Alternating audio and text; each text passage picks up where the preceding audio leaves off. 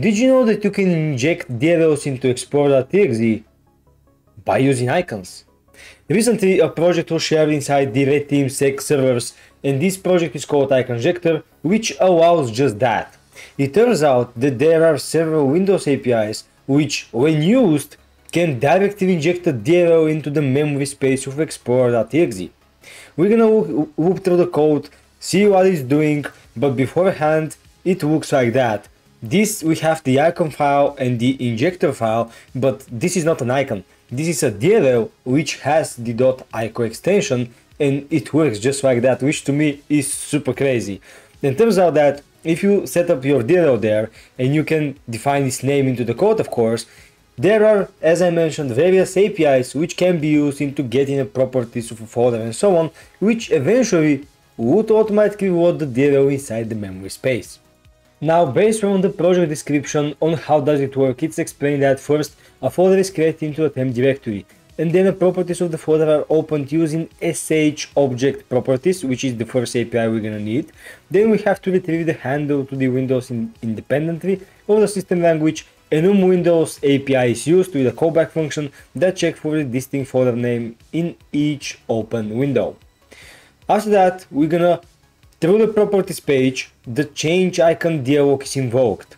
This handle is also retrieved with enum windows and lastly the icon path is changed to a DLL which has an icon extension in this case which causes the explorer to load the DLL after the OK button is pressed. So for instance in Windows when you have some kind of a let's say object, let's say you click on this folder which I've already cloned and go to properties and you can see all the settings here. If I go over, where was it, customize, change icon, this is what actually caused the DLL to be wallet. So here if I choose a DLL in theory it should work because the same Windows APIs have been used, but the code of Iconjector is using this action but programmatically achieved. So through code, through C++, it's using the same API as it would happen if I change the icon manually. And now it's time to test it if it's really gonna work. I've already cloned the repository, I didn't touch anything inside the code, just fresh copy of the project itself. And there inside the bin folder you have the precompiled binary for the code and then you have the DLL which is needed for the binary to work. This is the DLL which is going to be injected into export.exe. Now at first glance it looks like a pin of an icon file, sorry, but it's definitely not an icon because if I open it with let's say image viewer, you can see that the format is not supported and the file looks corrupted. Now I can execute the file and I want you to pay close attention on what happens. When I open the file, you can see a little bit of flickering and this is the automated approach of actually creating folder and setting its attributes and so on and so on and so on. So if I run it, you can see the CMD popped up. I think you saw a little bit of flickering like the folder windows appearing for millisecond and disappearing and after that the calculator is right there. I'm pausing the video just to say massive massive thanks to my Patreon sponsors. If you have further appreciation to the channel as well, don't hesitate to become my Patreon where you can get access to Shadowburn, my private packer which currently supports many evasion techniques, one of which is direct syscalls, indirect syscalls, staging, solving and many more. You're gonna get also added to special GitHub hidden gems as well as the special Discord membership inside the Red Teaming Army Discord server, make sure to join. There you're gonna get the ability to request videos and blog posts on demand, so I think that's gonna be useful. See you there and moving on. Now let's pay some attention to the code itself. The first thing we do is to actually create thread. And we point create thread to open change icons which I believe is a custom method which is defined above. And yeah that is the case. So what that open change icon is gonna do is that it's actually first define the path. It's to create the temporal directory and then we is going to use the sh object properties as explained in the github repos. Now we have the get windows api call which is to do that, that flash flashbacks you see you saw when i executed the binary. All right so this is some kind of a setup phase in my opinion and then what that while uh, after that is being done after this thread is executed we're gonna go enum windows so we're gonna enumerate all the windows inside. Then we're gonna go to get get module file name w. All right. And then we have the path combine w function, which is going to use the DLL which is stored inside the icon path. When that thing is done, we have another get window functions and most likely this is where the actual injection is coming in. So this is as mentioned in the comments, we have clicks the OK button and when that thing happens, in this phase the DLL is getting injected. Now we have two functions which are nice. We have one callback function which is used that's get inject window and then we have the one we just discussed the open change icons for spawning up the fields and setting up the properties. Now let's explain what the get injected windows does. So the first thing it does is defines a variable of the length of the get window text length w. I'm not sure what that Windows API is doing, so I can do F2 and if I remember correctly, actually I'm not sure why it's not working there, but let me open that Windows API because I'm really not sure why what it's doing. According to the documentation, it is retrieves the length in characters for specific Windows title bar text. Oh, okay, okay. If the specified Windows is a control, the function retrieves the length of the text within a control. However, get Windows text length cannot retrieve the length of the text of an edit control in another application. Alright, that's fair enough. So we return the characters in length for a specific Windows title bar, alright. Then we do some kind of optimization based on the comments and in that case if title len is less or equals than dirlen, which the dirlen is equal the directory length of the newly created directory, which is that. If it's more than that, uh, in that case we're gonna return true and next the callback function, but if that's not the case, we're gonna do title buffer again then we're gonna get window text w i think this one is getting the length. This one is getting the text itself. So we first make sure that the text is enough so we can handle it in a variable. I think it's is doing just that. Then we have the result equals true all right but it's still not returned. And then we have one compare statement which is if the handle which is passed here is not equal to props which in that case is no i believe and then the str strw which I believe finding substring in string from this thing there is not equal to no then the result is false which is pretty much how we delegate some kind of action or results. Again, this one, this is the first function we're gonna need. We define this variable to be on top and then we have again the directory name which is going to be created inside the temp folder which is that and again the, the dirlen which is again the length of this character. Now, beside windows.h, we're gonna use two more libraries, which is hl core.h and then shlwapi.h for invoking this str strw function.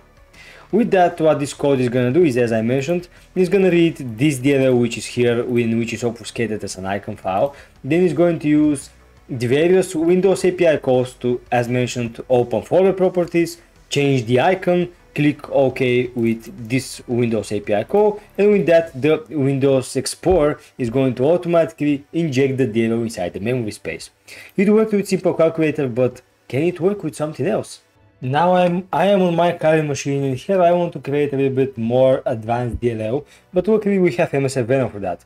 So I can do MSF Venom minus P, Windows x64, let's do Meterpreter, and then reverse actually I want to be stageless reverse that TCP. Now I want to test Meterpreter Show because it's generally a huge payload and I want to see how the application behaves and how the explorer.exe behaves when a huge DLL is trying to get injected into the process. So DL host is going to be ETH0, DL port is going to be 10,000 or 10443 and then the I think format is supposed to be DLL and the output file is to be msf.dll. Well, that runs, I'm gonna set up a new window there. So let me open up a little bit more, zoom in, sudo msf console. Just set up the listener for our payload. And when that thing is ready, we can see that we have msf.dll. I can do ifconfig just to get my IP address. And from there,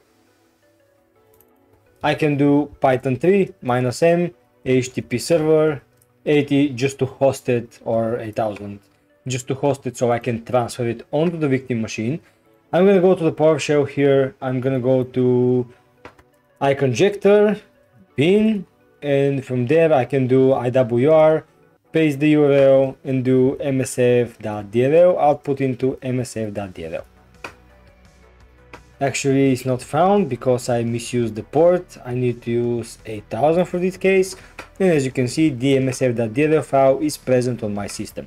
Now keep in mind that we need to modify it. And it's not enough to just rename it from here, because if I go back into the bin, I can see it's msf.dll, but I believe it's gonna be more efficient if I do move from here. So I can move msf.dll into innocent aiku.aiku.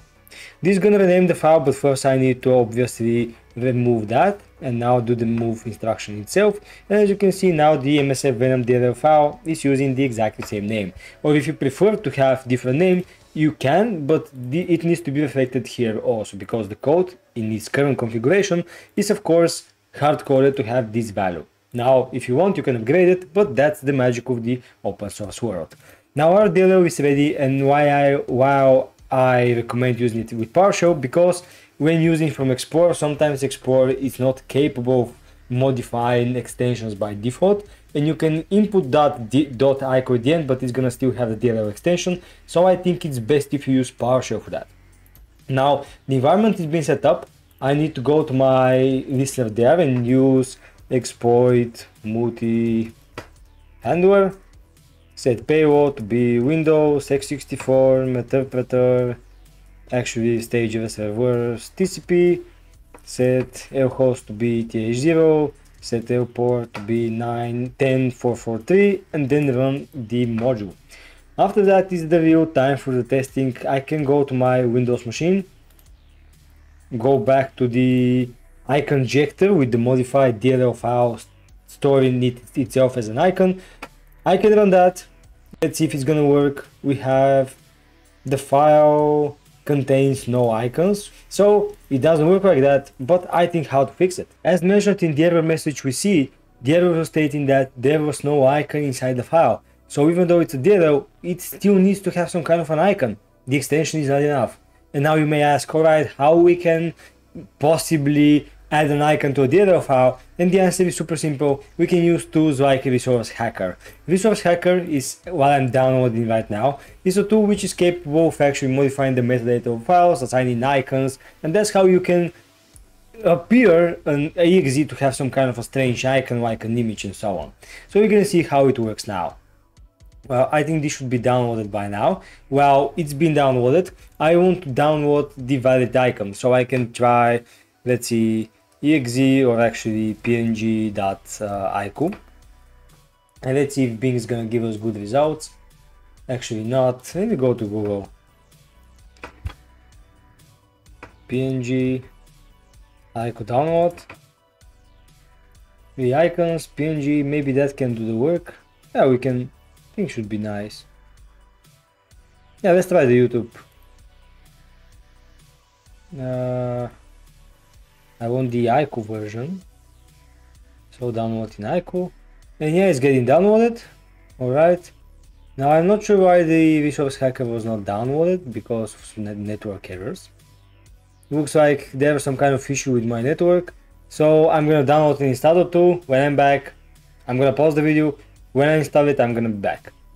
Alright, so I have installed the Resource Hacker, I have downloaded the YouTube icon, and this is the main window there. So from here I need to open the file we generated from MSF Venom, which is inside desktop, iConjector, bin, and now I need to go for all, all the files. With that I'm gonna click the innocent icon.iq, which is not an iq again at all.